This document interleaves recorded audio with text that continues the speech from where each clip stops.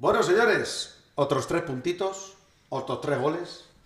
En Vigo, ¿eh? Ante un Celta, porque Celta sabemos que tiene una calidad, sobre todo de mitad para arriba, espectacular. Pero el María cogió el chip. Lo dije el otro día.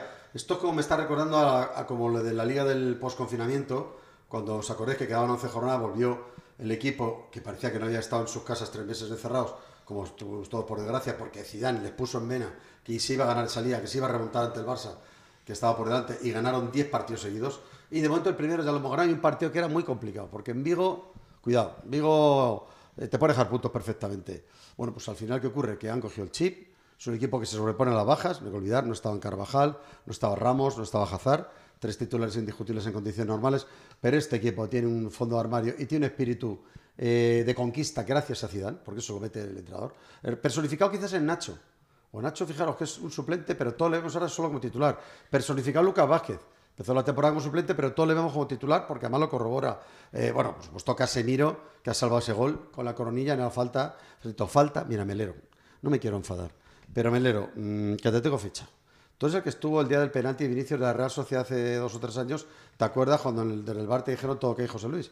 Pues es que, mm, de verdad, es que cosas. La, la, falta y la tarjeta que la ha sacado Modric. Bueno, por supuesto, Madrid va a recurrir la tarjeta y por supuesto se la quitarán. Porque ya son una cosa que no es ni falta porque él despeja el balón limpiamente y en la carrera tú cuando despejas, pues las piernas no te las puedes cortar. Y, toca al jugador del Celta y tal. Pero ya puestos a ser enresado, te puedes sacar de la manga una falta inexistente, por cierto, peligrosísima, que casi provoca un gol. Pues ya es el gol que hacemos. ¿A quién, a quién, a quién recurro yo? Los madridistas, ¿a quién, ¿a quién protestamos? Pero si te ha visto venir, ¿eh? Que has, perdonado hasta cuatro tarjetas. Y mira que yo quiero mucho al Celta, pero el Celta no tiene la culpa de tener un árbitro condescendiente. Vamos, ya el pisotón que le ha metido Gomayo a, a, Vinicius y Malón, y que tú digas que venga, nada, faltita y punto, eh, me, melero. Melero. Y la primera que ha hecho Vinicius, le sacas tarjeta a Vinicius. Que todo el mundo sabe que Vinicius da muchas patadas. Venga, hombre, por favor. Es que hay cosas que, se ven a la legua. Pero mira, el Madrid va a remar con eso. Y mira, si ganamos al final esta liga tendrá más mérito. Porque ya sabemos que nadie nos va a regalar nada. Porque así siguen pasando los meses, tal. Mira, yo lo sigo recordando cada vez. Desde el 24 de octubre, ni un penalti a favor. Pues nada, ¿eh? nosotros seguiremos así. Pero lo importante es dejar bien el parón.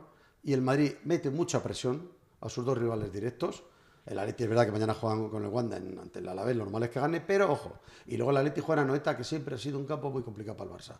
Oye, pueden ganar los dos o no.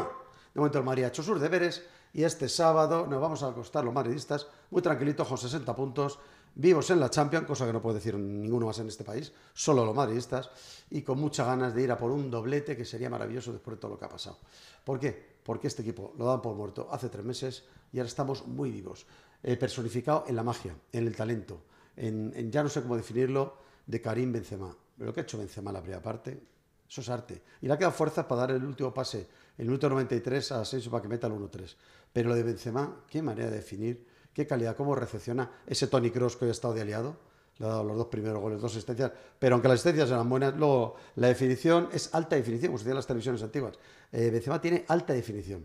Y por eso es quien es. Y por eso, aunque en el carrusel mis amigos me planteaban que si viene Haaland o tal, que si el banquillo Benzema, digo, no, que jueguen los dos. Benzema no ir al banquillo, aunque venga Haaland.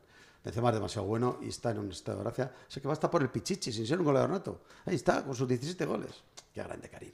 Oye, que estamos muy vivos, que vamos a por el doblete. Doblete, que te escuché el otro día a la puerta. Pues al loro que nosotros tampoco estamos tan mal. Tú dices el doblete, nosotros también, la porta. A por el doblete, pero los de blanco. ¿Qué te creías? ¿Que, era tan fácil porque lo digas tú? ¿Ya lo había ganado? Tranquilo, Jan, queda mucho.